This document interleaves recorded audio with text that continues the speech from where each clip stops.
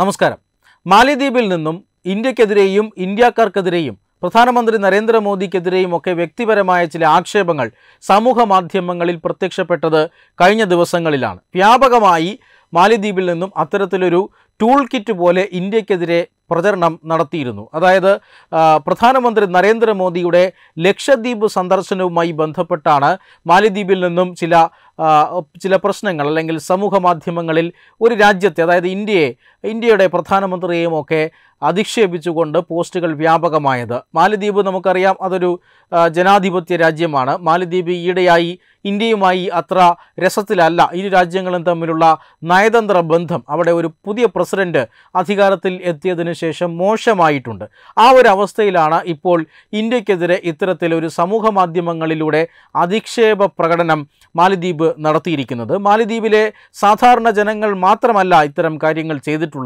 മാലിദ്വീപിന്റെ ഉത്തരവാദിത്വപ്പെട്ട മന്ത്രി വാർത്താവിതരണ പ്രക്ഷേപണ വകുപ്പ് മന്ത്രിയും ടൂറിസം മന്ത്രിയും ഒക്കെ ഇക്കാര്യത്തിൽ ഇതേ ഈ സമൂഹ മാധ്യമങ്ങളിൽ വന്നിരിക്കുന്ന അധിക്ഷേപങ്ങൾ യാതൊരു നയതന്ത്ര മര്യാദയും പാലിക്കാതെ ഏറ്റെടുത്ത് ഇന്ത്യക്കെതിരെ പ്രയോഗിച്ചിരിക്കുന്നു എന്നുള്ളതാണ് ഇതിലേറ്റവും പ്രധാനപ്പെട്ട കാര്യം. ഇതിൽ ഇന്ത്യ ഇന്ത്യ ഔദ്യോഗികമായി ഒരു രാജ്യമെന്ന നിലയിൽ വലിയ പ്രതികരണത്തിനൊന്നും പോയിട്ടില്ല. കാരണം അങ്ങനെ പ്രതികരിക്കേണ്ട കാര്യവുമില്ല. പക്ഷേ സമൂഹ മാധ്യമങ്ങളിൽ രാജ്യം നേരിട്ട അപമാനത്തിന് അതേ നാണയത്തിൽ തന്നെ ഇപ്പോൾ മാലിദ്വീപിന് തിരിച്ചടി കിട്ടിയിരിക്കുകയാണ്. അതായത് മാലിദ്വീപിന്റെ സുപ്രധാനമായ വെബ്സൈറ്റുകളെല്ലാം ഇപ്പോൾ നിശ്ചലമാണ്. ആ വെബ്സൈറ്റുകൾക്കൊക്കെ എതിരെ ഹാക്കർമാരുടെ ആക്രമണം നടന്നിട്ടുണ്ട് എന്നാണ് പ്രാഥമികമായി വിലയിരുത്തപ്പെടുന്നത്. മാലിദ്വീപ് പ്രസിഡന്റിന്റെയും അതുപോലെ തന്നെ വിദേശകാര്യ വകുപ്പിന്റെയും ടൂറിസം വകുപ്പിന്റെയും ഒക്കെ വെബ്സൈറ്റുകൾ ഇപ്പോൾ തകരാറിലായിട്ടുണ്ട്. ഇവർക്കൊക്കെ എതിരെ ഹാക്കർമാരുടെ ആക്രമണം നടന്നിട്ടുണ്ട് എന്നാണ് അവിടെ നിന്ന് ലഭിക്കുന്ന സൂചന. എന്തായാലും മാലിദ്വീപ് ഇത്തരത്തിൽ ഒരു വലിയ അധിക്ഷേപം അല്ലെങ്കിൽ നയതന്ത്ര മര്യാദകളൊന്നും പാലിക്കാതെ തന്നെ ഒരു വലിയ അധിക്ഷേപം നടത്തിയിരിക്കുന്നു. അത് ഇത്രനാൾ മാലി മാലിദ്വീപിന്റെ ഒരു സുഹൃത്ത് രാഷ്ട്രമായിരുന്ന മാലദ്വീപിനെ പല രീതിയിലും സഹായിച്ചിട്ടുള്ള ഒരു രാഷ്ട്രമായ ഇന്ത്യക്കും ഇന്ത്യയുടെ രാഷ്ട്ര നേതാവ് അല്ലെങ്കിൽ രാഷ്ട്രത്തലവൻ പ്രധാനമന്ത്രി നരേന്ദ്രമോദിക്കുമെതിരെയാണ് വ്യക്തിപരമായ ഒരു നിലവാരമില്ലാത്ത അധിക്ഷേപങ്ങൾ പടച്ചുവിട്ടിരിക്കുന്നത്. ലക്ഷദ്വീപ് ഇന്ത്യയുടെ അവിഭാജ്യ ഘടകമാണ്. ഇന്ത്യൻ പ്രധാനമന്ത്രിക്ക് ലക്ഷദ്വീപ് സന്ദർശിക്കണമെങ്കിൽ സന്ദർശിക്കാം. അതിൽ മാലിദ്വീപിന് ഇടപെടേണ്ട കാര്യമേ ഇല്ല. പക്ഷേ മാലിദ്വീപ് അതിൽ ഇടപെട്ടിരിക്കുന്നതിന് ഏറ്റവും പ്രധാനപ്പെട്ട ഒരു കാര്യമുണ്ട്. കാരണം നേരത്തെ പറഞ്ഞതുപോലെ തന്നെ മാലദ്വീപും ഇന്ത്യയും തമ്മിലുള്ള നയതന്ത്ര ബന്ധത്തിൽ വലിയ വിള്ളലുകൾ ഈ ഇടയായി വന്നിട്ടുണ്ട്. ആ വിള്ളലുകൾ വന്നതിന് പിന്നിൽ പ്രകോപനമുണ്ടാക്കിയത് മാലദ്വീപ് തന്നെയാണ്. അങ്ങനെ മാലദ്വീപ് പ്രകോപനമുണ്ടാക്കിയതിന് പിന്നിൽ മറ്റൊരു രാജ്യമായ ചൈനയുമാണ് എന്ന് നമുക്കറിയാം.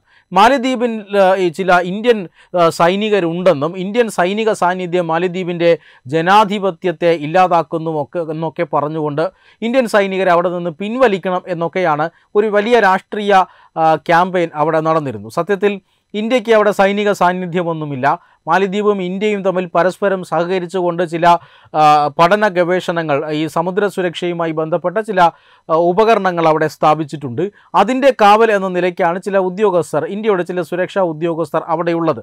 പക്ഷേ അതിനെ ഇന്ത്യയുടെ സൈനിക സാന്നിധ്യമായി വലിയ രീതിയിൽ പ്രചരണം നടത്തുകയും ആ രീതിയിൽ ജനവികാരം ഇളക്കി വിട്ടുകൊണ്ട് അധികാരത്തിൽ വരികയും അധികാരത്തിൽ വന്നതിന് ശേഷം ഇന്ത്യ വിരുദ്ധ പ്രവർത്തനങ്ങൾ നടത്തുകയും ചെയ്ത പ്രസിഡന്റാണ് ഇപ്പോൾ മാലിദ്വീപിൽ അധികാരത്തിലുള്ളത്. അങ്ങനെ ഒരു സാഹചര്യത്തിലാണ് ഇന്ത്യക്കെതിരെ ആരോപണങ്ങൾ ഉയർത്തുന്നത്. അങ്ങനെ ഇന്ത്യയെ വിട്ട് ഇന്ത്യയുമായുള്ള സുഹൃത്ത് ബന്ധം ഉപേക്ഷിച്ച് ചൈനയുമായി സുഹൃത്ത് ബന്ധത്തിന് പോയ മാലിദ്വീപിനെതിരെ ഇന്ത്യ കൃത്യമായ ഒരു മുന്നറിയിപ്പ് നൽകിയതാണ് പ്രധാനമന്ത്രി നരേന്ദ്രമോദിയുടെ ലക്ഷദ്വീപ് സന്ദർശനം എന്ന് ഇന്നലെ തന്നെ ചർച്ചകൾ ഉണ്ടായിരുന്നതാണ്. മാലദ്വീപ് നമുക്കറിയാം ലോകത്തിന്റെ തന്നെ ഒരു ബീച്ച് റിസോർട്ട് എന്നറിയപ്പെടുന്ന ഒരു രാജ്യമാണ്. മാലദ്വീപ് ടൂറിസത്തെ മാത്രം ആശ്രയിച്ച് കഴിയുന്ന ഒരു രാജ്യമാണ്. മാലദ്വീപ് ജി ഡി പിയുടെ ഏതാണ്ട് ഇരുപത്തിയെട്ട് ശതമാനത്തോളം സംഭാവന ചെയ്യുന്നത് ജി ഡി പി ആണ്. മാലദ്വീപിന്റെ വിദേശ നാണ്യ വരുമാനത്തിന്റെ ഏതാണ്ട് അറുപത് ശതമാനവും സംഭാവന ചെയ്യുന്നത് ഈ ടൂറിസം മേഖലയാണ്. ലക്ഷദ്വീപും അതുപോലെ തന്നെയാണ്. മാലദ്വീപിൽ എന്തൊക്കെ പ്രകൃതിദത്തമായ സൗന്ദര്യവും അതുപോലെ തന്നെ അടിസ്ഥാന സൗകര്യങ്ങളും ഉണ്ടോ?